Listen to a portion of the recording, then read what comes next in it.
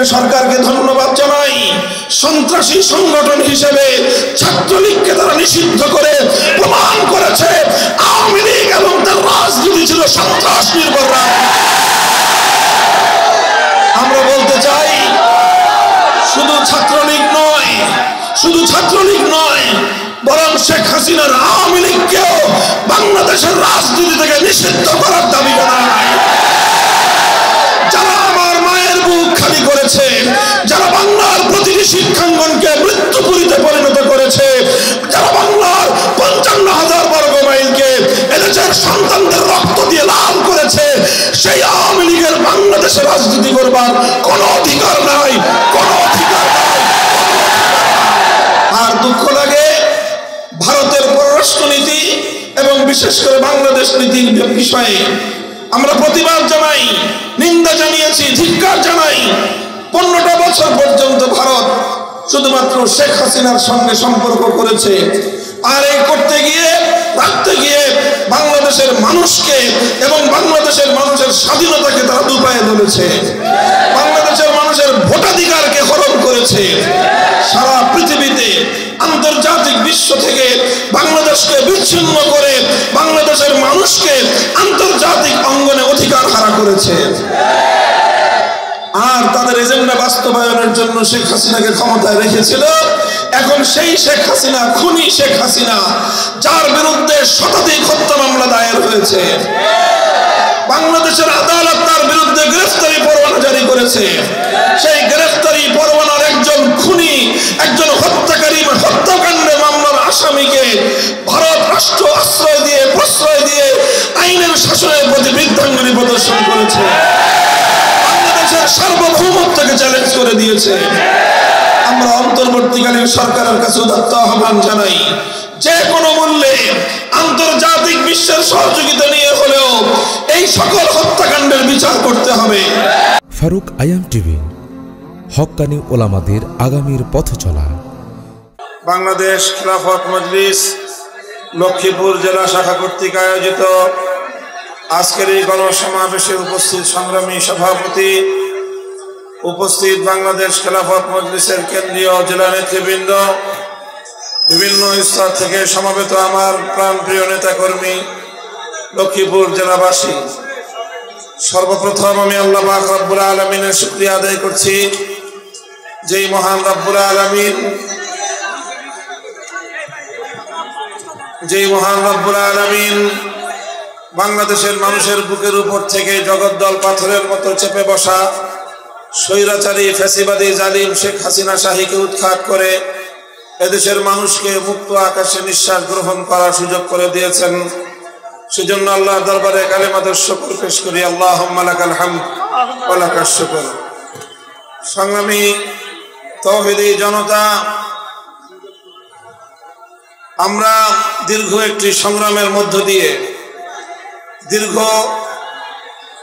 আত্মদান রক্তর রক্তদান এবং জীবনের উৎসর্গের মধ্য দিয়ে বিগত পাঁচই আগস্ট আমাদের প্রিয় মাতৃভূমি বাংলাদেশকে নতুনভাবে স্বাধীন পেয়েছি।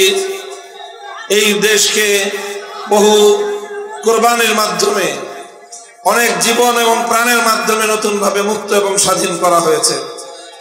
যাদের রক্ত এবং যাদের আত্মত্যাগের মাধ্যমে আমরা এই ফ্যাসিবাদ মুক্ত বাংলাদেশ পেয়েছি।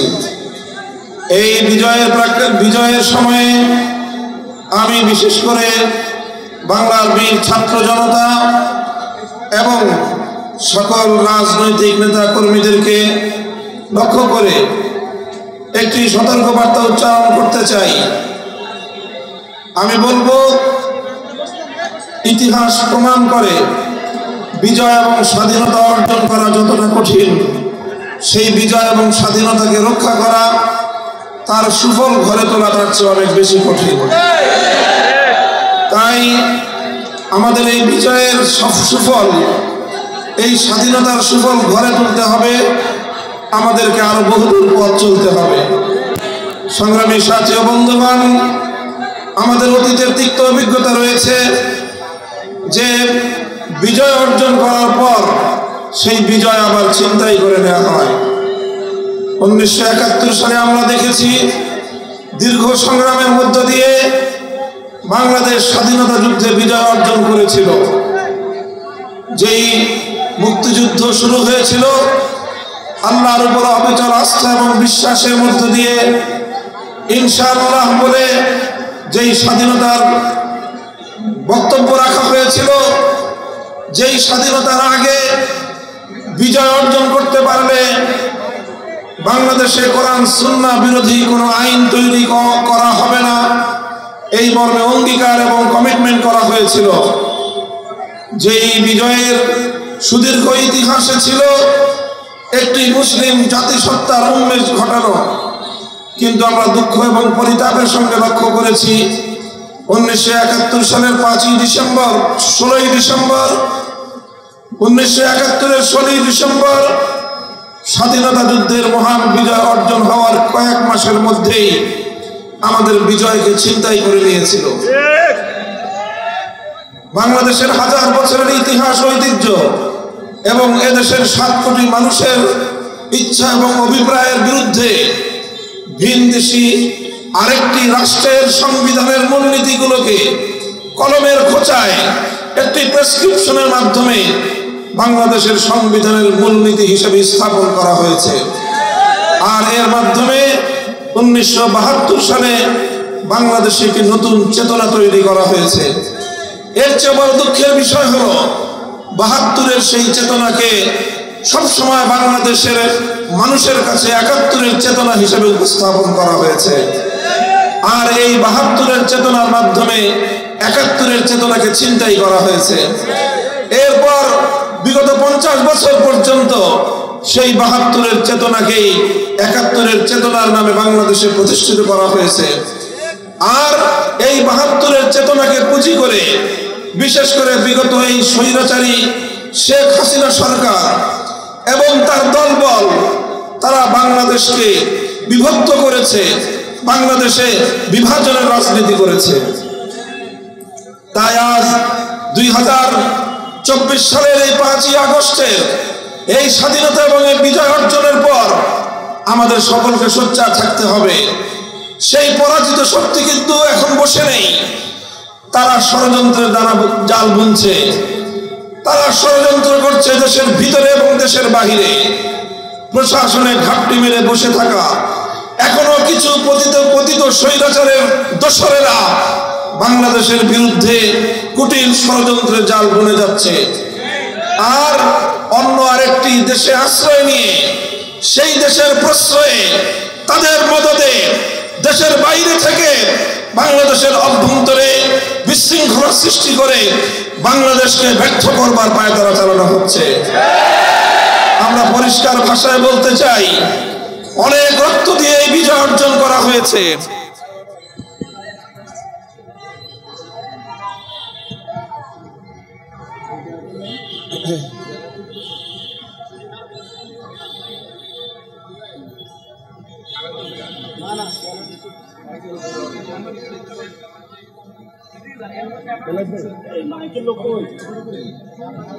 माइक ऑपरेटर कोई अच्छा।, अच्छा, अच्छा।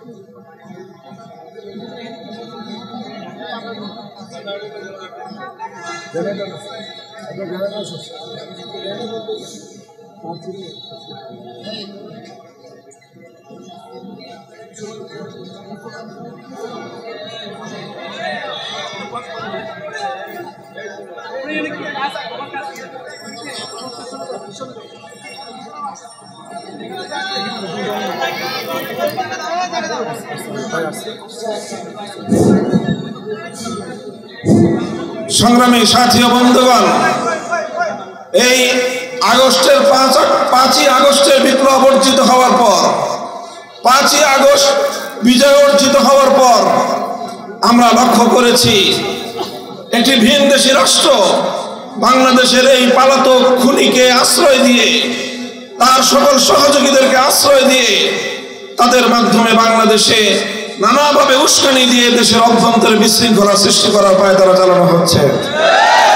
আমরা স্পষ্ট ভাষায় বলতে চাই, যেই দেশের এই ফেসিবাদের উৎখাতের জন্য, স্বৈরাচারের পতনের জন্য হাজার হাজার মানুষ জীবন দিয়েছে। শুধু এক জুলাই এবং আগস্ট দুই হাজার চব্বিশ সালে গতকালকের সর্বশেষ রিপোর্ট পর্যন্ত ষোলো শত বত্রিশ জন মানুষ তাদেরকে অন্যায়ভাবে হত্যা করা হয়েছে, খুন করা হয়েছে। আরও কত অসংখ্য মানুষ গুমের শিকার হয়েছে, যাদের লাশ পর্যন্ত তাদের পরিবার, পরিজনদের হদিস নাই, তারা জানতে পারে নাই। এইভাবে বিগত পনেরো বছরে কত হাজার মানুষকে হত্যা করে, খুন করে স্বৈরাচারী শেখ হাসিনা বাংলাদেশের ক্ষমতার মসনদকে আঁকড়ে ধরে রাখতে চেয়েছিল। তার ইচ্ছা ছিল মূলত সে প্রতিশোধের রাজনীতি করেছিল। সে প্রতিশোধ নিতে চেয়েছিল বাংলাদেশের কাছ থেকে।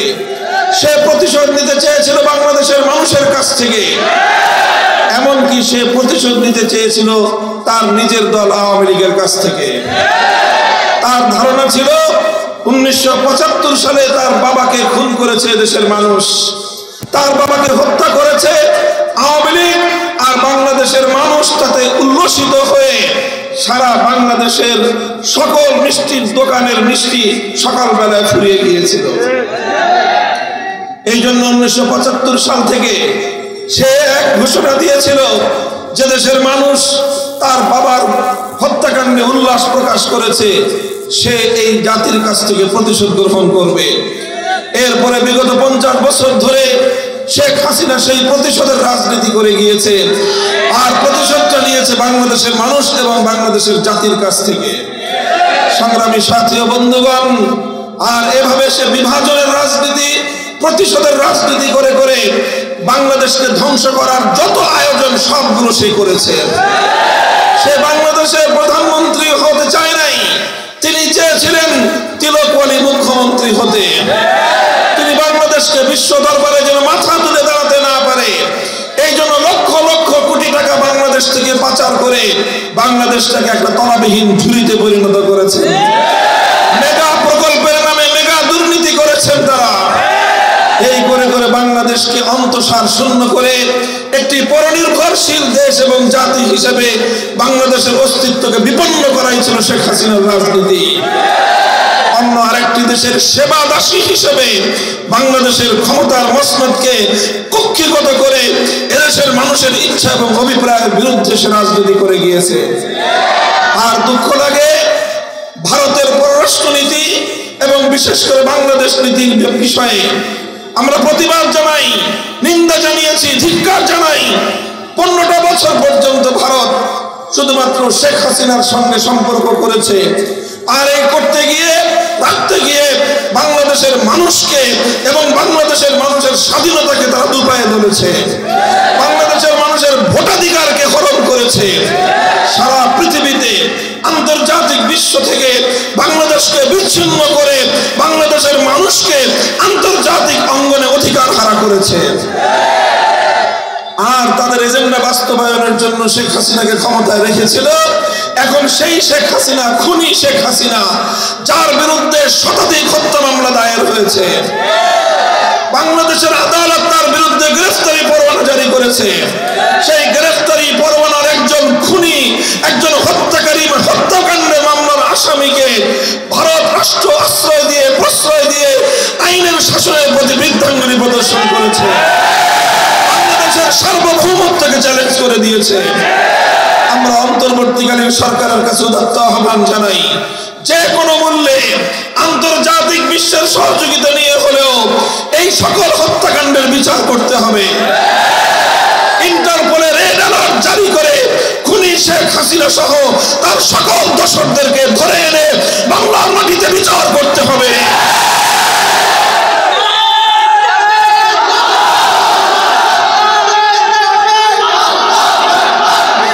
সংগ্রামী সাথী বন্ধুগণ, আমি সর্বশেষ কথা বলতে চাই। আমাদেরকে বিজয়ের আনন্দে আত্মহারা হলে চলবে না। সজাগ থাকতে হবে, সচেতন থাকতে হবে। ষড়যন্ত্রের বিরুদ্ধে, চক্রান্তের বিরুদ্ধে আমাদেরকে ঐক্যবদ্ধ থাকতে হবে। আমি বলেছি, আবারও বলছি, যারা বিগত পনেরোটা বছর স্বৈরাচারের দ্বারা নিপীড়িত হয়েছি নিষ্পেষিত হয়েছি। যাদের দলের হাজার হাজার নেতা কর্মী গুম, খুন, হত্যাকাণ্ডের শিকার হয়েছে আমরা। আমাদের সকলকে সেই ফেসিবাল অত্যাচারী, জালিমের বিরুদ্ধে আমাদের ঐক্য আরও বহুদিন ধরে রাখতে হবে। এখনই পারস্পরিক প্রতিযোগিতায় লিপ্ত হয়ে, এখনই পারস্পরিক প্রতিদ্বন্দ্বিতায় লিপ্ত হয়ে সেই ফেসিবাদকে আবার রাজনীতিতে পুনর্বাসিত হওয়ার সুযোগ দেওয়া যাবে না। এই জন্য আমি নাম উল্লেখ বলছি, বাংলাদেশ জাতীয়তাবাদী দল বিএনপি, জামায়াত ইসলামী বাংলাদেশ, ইসলামী আন্দোলন বাংলাদেশ বাংলাদেশ খেলাফত মজলিস খেলাফত মজলিস, জমিয়ত উলামা ইসলাম, নিজামী ইসলাম, এলডিপি, এনডিপি, গণ অধিকার পরিষদ, গণতন্ত্র মঞ্চ সহ সকল মত এবং পথের লোকেরা আমাদেরকে ঐক্য আরও দীর্ঘমেয়াদী ভাবে মজবুত ভাবে আঁকড়ে ধরতে হবে। ফ্যাসিবাদকে কোনোভাবেই বাংলাদেশে আর পুনর্বাসিত হতে দেওয়া যাবে না। অন্তর্বর্তীকালীন সরকারকে ধন্যবাদ জানাই। সন্ত্রাসী সংগঠন হিসেবে ছাত্রলীগকে তারা নিষিদ্ধ করে প্রমাণ করেছে। আওয়ামী লীগ এবং তার রাজনীতি ছিল সন্ত্রাস নির্ভর আমরা বলতে চাই, শুধু ছাত্রলীগ নয়, শুধু ছাত্রলীগ নয় বরং শেখ হাসিনার আওয়ামী লীগকেও বাংলাদেশের রাজনীতি থেকে নিষিদ্ধ করার দাবি জানাই যারা আমার মায়ের বুক খালি করেছে, যারা বাংলার প্রতিটি শিক্ষাঙ্গনকে মৃত্যুপুরীতে পরিণত করেছে, যারা বাংলার পঞ্চান্ন হাজার বর্গ মাইলকে এদেশের সন্তানদের রক্ত দিয়ে লাল করেছে, সেই আওয়ামী লীগের বাংলাদেশে রাজনীতি করবার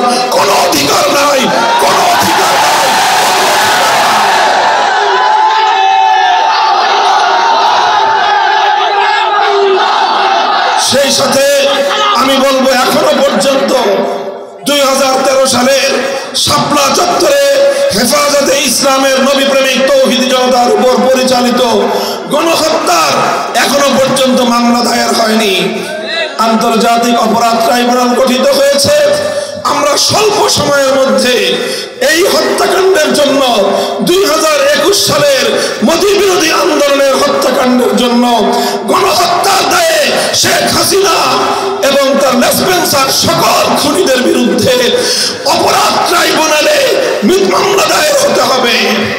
সেই মামলার বিচার করতে হবে। বাংলার মানুষ বাংলাদেশের ইতিহাসের জঘন্যতম, বর্বরতম খুনির শেখ হাসিনার বিচার দেখতে চায়। আর আমরা চাই একটি বৈষম্যহীন বাংলাদেশ গড়তে, ইনসাফপূর্ণ বাংলাদেশ গড়তে।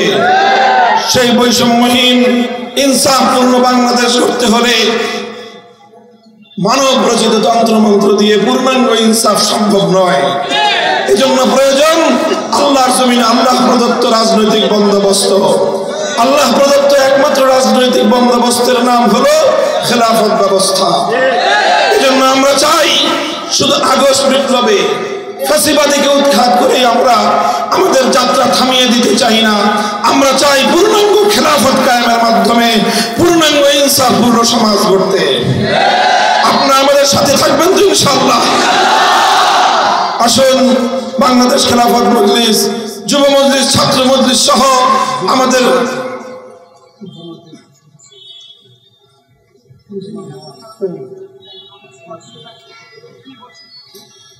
বাংলাদেশ খেলাফত মজলিস, আপনাদের সকলকে আহ্বান জানায় আসুন। বাংলাদেশ খেলাফত মজলিসের পতাকা তলে সামিল হয়ে আল্লাহর জমিনে আল্লাহর খেলাফত কায়েমের এই রাজনীতিকে আপনারা সমৃদ্ধ করবেন, সামনের দিকে অগ্রসর করে নেবেন। লক্ষ্মীপুরের যে সকল ভাতৃপ্রতিম রাজনৈতিক সংগঠনগুলো আজকে এখানে আমাদেরকে স্বাগত জানিয়েছেন বিশেষ করে জনাব শহীদুদ্দিন চৌধুরী আনী সাহেব কারাগারে এবং বিভিন্ন নির্যাতিত অবস্থায় একাধিকবার আমার সাথে সাক্ষাৎ হয়েছে, কুশল বিনিময় হয়েছে। তিনি আমাদেরকে অভিনন্দন জানিয়েছেন। আমরা তাদেরকে এই অভিনন্দনের জন্য সুক্রিয়া জানাই। এবং সকলকে নিয়ে আমরা একসাথে আগামীর বিনির্মাণ, বাংলাদেশ বিনির্মাণ করতে চাই এবং আমরা চাই আমরা চূড়ান্তভাবে একটি ইনসাফপূর্ণ সমাজ গড়ার মধ্য দিয়ে ইসলামের বাংলাদেশ হবে, ইনশাআল্লাহ। প্রিয় ভাইয়েরা, রাস্তায় বিভিন্ন জটিলতার কারণে আমাদের এখানে পৌঁছতে দেরি হয়েছে, জুমার আজান হয়ে গিয়েছে, ইনশাআল্লাহ। এখন আমাদের পাশে মসজিদ রয়েছে, সেখানে জুমার কার্যক্রম শুরু হবে, বয়ান শুরু হবে, এরপরে খুতবা হবে। আপনারা সকলেই কাল বিলম্ব না করে অল্প সময়ের মধ্যেই জুমার নামাজের জন্য মসজিদে গিয়ে প্রস্তুতি নিয়ে জুমায় অংশগ্রহণ করবেন। উদাত্ত আহ্বান রেখে আমি আমার বক্তব্য শেষ করছি। বাংলাদেশ জিন্দাবাদ, বাংলাদেশ খেলাফত মজলিস জিন্দাবাদ। আসসালামু আলাইকুম রাহমাতুল্লাহ। সুবহানাল্লাহ ওয়া বিহামদিহি। সুবহানাকা আল্লাহুম্মা বিহামদিকা আশহাদু আন লা ইলাহা ইল্লা আনতা। أستغفرك وأتوب إليك